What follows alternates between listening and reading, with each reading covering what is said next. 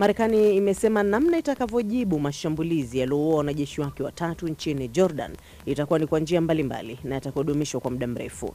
Na katika gumzo hii leo tunauangazia mkutano wa kilele kati ya Italia na viongozi wa Afrika utaleta tija gani katika kuboresha maendeleo na uchumi wa bara la Afrika.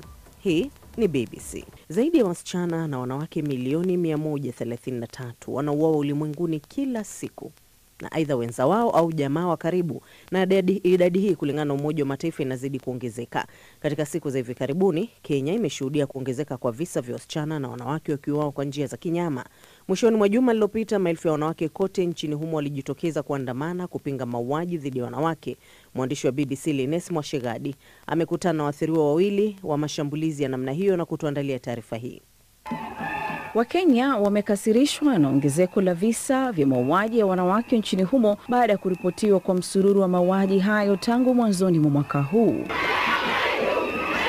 Katika wiki mbili tu za mwanzo wa mwaka huu, vyombo vya habari nchini humo vimeripoti kutokea kwa vifo vya wanawake kumi katika maeneo tofauti. Mauaji haya ya wanawake yaliyotajwa kwa Kiingereza kama femicide yameorodheshwa kama mauaji ya kukusudiwa na yaliyopangwa. Cynthia ambalo si jina lake halisi angefariki na kuwa mmoja wa waathiriwa, alinisimulia yaliyompata. Nilikutana naye katika tovuti ya wapenzi. Tulikutana ana kwa ana katika muda wa chini ya wiki moja. Punde tu mahusiano hayo yalipoanza, mwanamume huyo alimtaka Cynthia kupatana naye na hata kujitolea kumlipia taksi kumsafirisha hadi alipokuwa. Cynthia alikataa wito huo. Cynthia alihisi kwamba kumwalika mwanamume huyo nyumbani kwake ni hatua iliyoonekana kuwa salama, hatua aliyoichukua. Cynthia anasema kilichofuata kitamsumbua milele. Kwa zaidi ya saa sita usiku huo, anasema alikuwa amefungwa kwa kamba na kufunikwa mdomo, na kisha mwanamume huyo alimpiga vibaya nusra kumuua na vilevile vile alimbaka. Wakati hayo yote yakijiri, alikuwa akimshurutisha kumpa neno siri za akaunti za benki alizotumia kuiba pesa kwenye akaunti yake, pia simu ya mkononi na vitu vinginevyo vya thamani kabla ya kuondoka. Alipogundua kwamba mwanamume huyo alikuwa ashaondoka, Cynthia alijaribu kupiga kelele na hatimaye kuokolewa na mlinzi na msimamizi wa jumba aliokuwa akiishi. Niliendelea kupiga kelele, njoo mlinzi unisaidie, niko katika hali mbaya, jamani, mimi nafa. Akiwa ameachwa na majeraha ya kuhatarisha maisha yake, alipelekwa kwa kituo cha polisi na baadaye hospitalini. Lydia ambaye pia si jina lake halisi, anasema pia alikuwa mwathiriwa dhuluma aina hii kama ilivyofanyika kwake Cynthia. Walikutana kwenye tovuti ya mapenzi. Anasema aliweza kumshawishi amkaribishe nyumbani kwake akiwa na rafiki yake. Walinifunga mdomo na vilevile wakaifungia mikono yangu kwa kitanda. Anasema mwanamume huyo na rafiki yake walimbaka kwa zamu na kumpiga na kumuumiza kwa saa kadhaa kabla ya kumwibia vitu vikiwemo leseni yake ya kuendesha gari, kitambulisho chake na kadi za benki. Na msikilizaji, ukitafakari ripoti hiyo ya kusikitisha ya Linese Moshegadi, tusonge mbele na sasa tuelekee kwenye gumzo ambako mkutano wa kilele kati ya waziri mkuu wa Italia na viongozi wa bara la Afrika ulianza jana mjini Rome, lengo likiwa kutanabaisha mpango mpana wa maendeleo na uwekezaji wa Italia kuelekea bara la Afrika.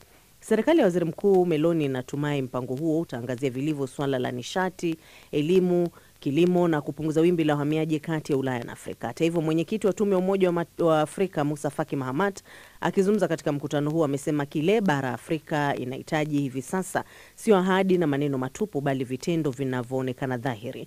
Baadhi ya wachambuzi barani Afrika wametilia shaka manufaa tokanayo na misururu ya mikutano kama huo wa Italia.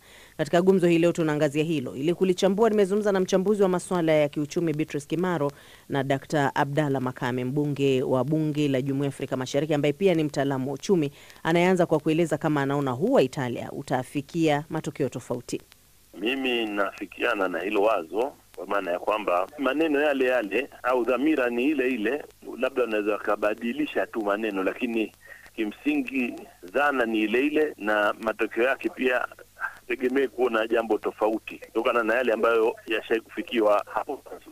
Beatrice, umemsikia Dr. Makame akizungumza kwamba hatarajii kuwe na tofauti kubwa kati ya huu na mingine mingi ambayo imepita katika kipindi cha nyuma, lakini Italia uh, kupitia waziri mkuu Meloni inasema kwamba inatarajia kwamba mpango wake huu utaleta tija mno katika masuala ya nishati, uh, uwekezaji wa biashara na kiuchumi barani Afrika, katika masuala ya elimu na vilevile swala la uhamiaji. Mkutano huu Afrika itakuwa katika nafasi gani katika kuweza kuwa kwamba ni washirika sawa? Sioni kwamba itakuwa na nafasi ya juu sana ikilinganishwa na makongamano au mikutano mingine ambayo imekwisha kufanyika hapo awali. Kwa mfano, tukiangalia hii nchi ya Italia ni miongoni mwa taifa linalounda ule muungano wa mataifa yaliyostawi zaidi duniani G7, ambapo miongoni mwa hizo nchi zinazounda hii G7 Uingereza ipo, Marekani ipo, Ujerumani ipo, Ufaransa ipo, lakini pia hata Canada. Na tulishawahi kushuhudia taifa kwa mfano kama la Marekani kufanya mkutano na viongozi wa Afrika, lakini pia hata Ujerumani walishawahi kufanya lakini hata na mataifa mengine ambayo yako nje ya G7 kama Urusi na hata China. Lakini sio kwamba itakuwa na position kubwa sana kama ilivyokuwa mengine, ila wao hawa Italia wana lengo zaidi ya kunufaika na Afrika. Sisi huku Afrika tunapaswa kuwa makini sana, na ndio maana hata yule kiongozi wa Afrika African Union Bwana Musa Afik imenukuu maneno yake, amesema kwamba Afrika kwa sasa tunataka zaidi vitendo na sio maneno. Maanake ni kama hata hawa viongozi wa Afrika ni kama wana, wanachoka kidogo, kwa sababu ahadi zimekuwa ni nyingi, lakini utekelezaji umekuwa ni wa kusuasua. Kwao naungana mkono kabisa na mwenzangu kwamba mm -hmm. Afrika inapaswa kujitathmini, hususan viongozi wa Afrika simama imara na kujua nini wanataka kwa sababu la sivyo tutakuwa tukiburuzwa sana na haya mataifa yaliyoendelea kusimamia kile ambacho tunakitaka sisi kama Afrika na changamoto zetu na namna gani tunaweza kuzitatua aa, kwa kuja pamoja zaidi ya kutegemea sana wafadhili kutoka nje. Lakini mtu atajiuliza, Afrika yenyewe inaleta nini kwenye meza ili waweze kuwa na uthubutu wa kuiambia Italia kwamba hatutaki maneno tu, tunataka matendo? Wao wanatoa matendo ya aina gani? Ndio maana hawa wamewaalika hao viongozi wa bara la Afrika kule, wasingewaalika kama hawahitaji. Na Afrika ina rasilimali nyingi ambazo bara la Ulaya haliwezi likapiga maendeleo pasi na kuzitumia rasilimali za Afrika. Maendeleo ya bara la Ulaya naweza nikadiki kusema kwamba yanategemea yana sana mali ghafi na rasilimali za bara la Afrika. Twende kwenye swala zima la kwamba alivyozungumza Mheshimiwa Mustafa Kimamat, ni maneno ambayo yalishawahi kuzungumzwa na baadhi ya kama sikosei, viongozi wa jumuiya letu hapa la Afrika Mashariki. Mmoja wapo nakumbuka alisema kwamba yeye anapendelea kuweka kusisitiza kwamba lazima sasa hivi tujipange, tusio tunaitwaitwa tu tunaenda zetu kundi la viongozi wa Afrika pale, tunaenda ku, ku, ku, kujadiliana na nchi moja moja kule au umoja wao, lakini tunaitwa kwa pamoja. Lakini bora sisi tu, tu, tujenge misimamo yetu, alafu tumtume mwakilishi wetu, ama awe ni kiongozi wa Umoja wa Afrika au wale viongozi kiongozi wa